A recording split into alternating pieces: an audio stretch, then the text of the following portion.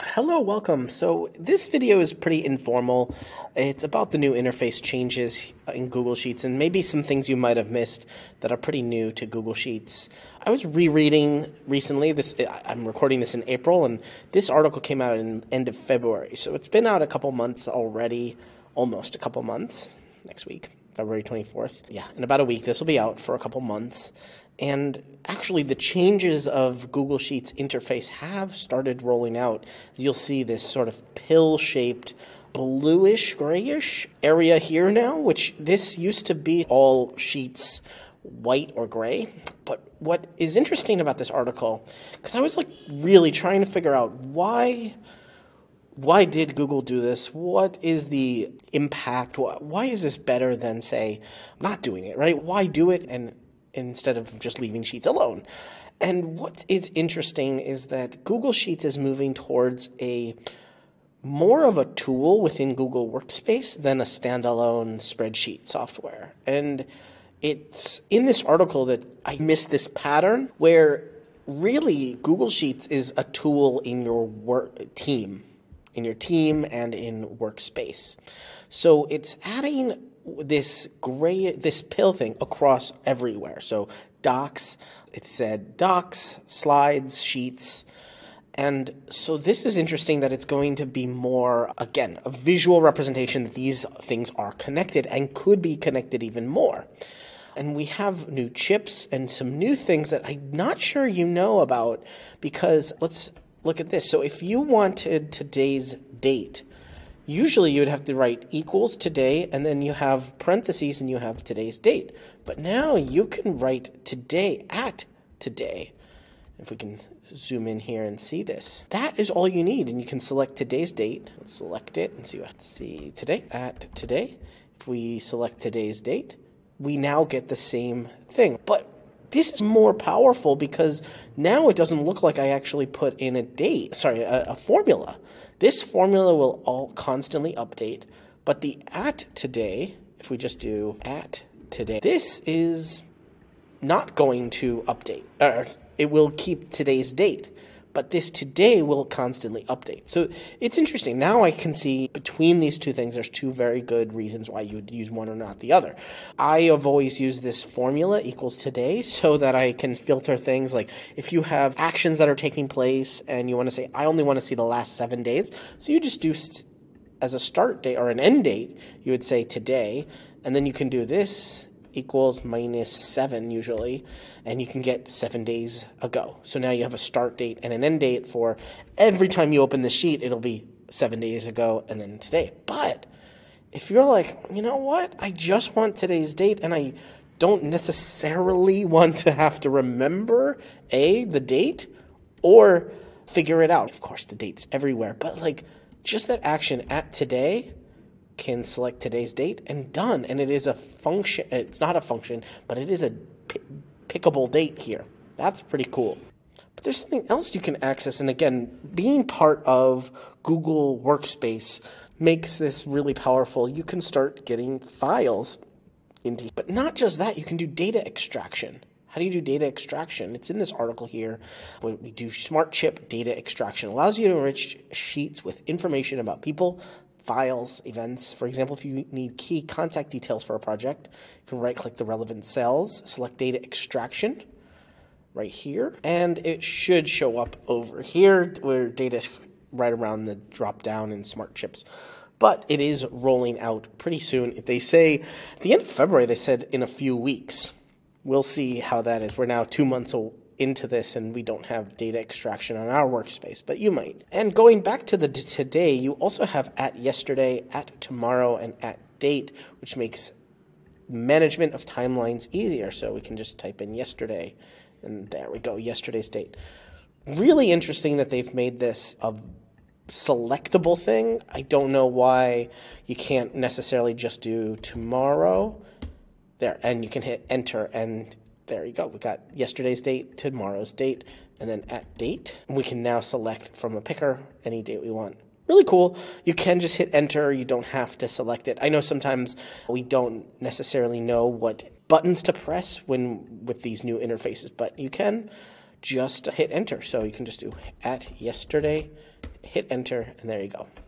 At date, hit enter. Oh, and it also gives you a little selection. If you just do at date, there you can hit the down arrow for today's date, down twice for tomorrow's date, and third time for yesterday's date. Pretty cool. And then also it appears there are finance chips, so we can just do like a KO.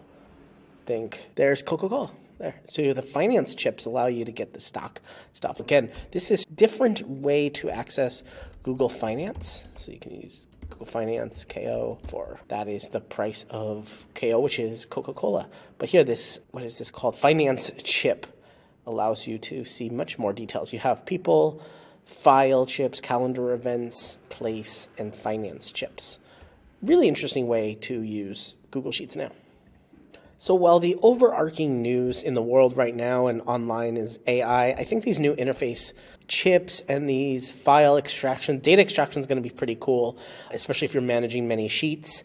I have talked about a little bit managing sheets of sheets, like you now can build a sheet of sheets much easier around projects and get timelines and owners of these sheets and really manage your Google Drive much easier and better from a Google Sheet. What's really cool though is like with AI and these new interface changes coming, how are they going to combine into interesting ways?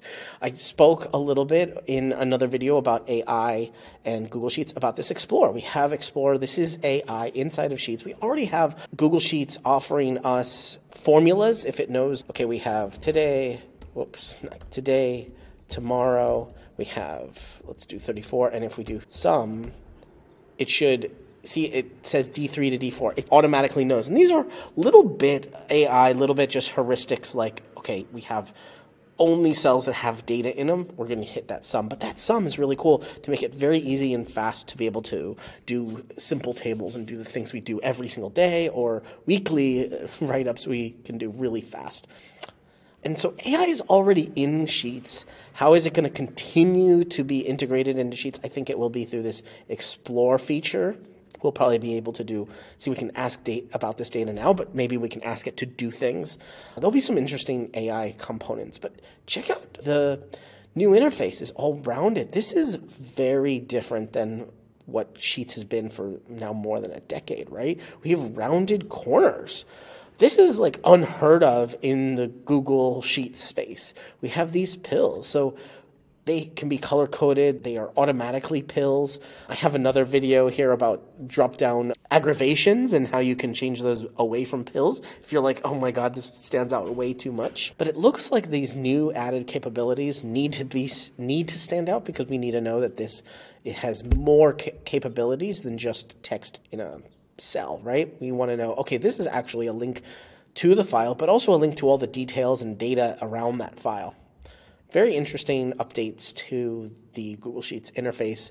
If you've noticed any yourself or you do end up having data extraction earlier than I do, let me know and happy to discuss with you new and improved UI around Sheets. Again, Sheets, funny enough, with this new UI and it has this more bluish tint to it when we have selected, which is really nice actually. It makes it much easier to see what is selected, what is the active cell, what have I selected. It's very much higher contrast here. But our spreadsheet's still black and white and still the default is Arial, right? So everything inside of Sheets that you're learning here at Better Sheets is so much still useful in addition to just the UI changes around the sheet. Again, this is to summarize, this is making Google Sheets fit in the Google workspace much more seamlessly, right? So if you go to doc.new, this will have a similar interface up here. Again, right, yep, that pill shaped there. And we know, okay, we are in the Google workspace. We're not only in Google Sheets and not only in Google Docs, we are now fully entrenched inside of Google Workspace. So yeah, really interesting. And then also bringing all that data in and sharing that data amongst these these apps is fairly new and really long awaited. We knew how Google Sheets should be able to speak with other Google Sheets, right? Without having to do import range. We're doing a lot of import range, right? And now we have access to these sheets very quickly, very easily, and it's apparent these are links to sheets and have more data extraction coming in. So yeah, this smart, new smart canvas is interesting.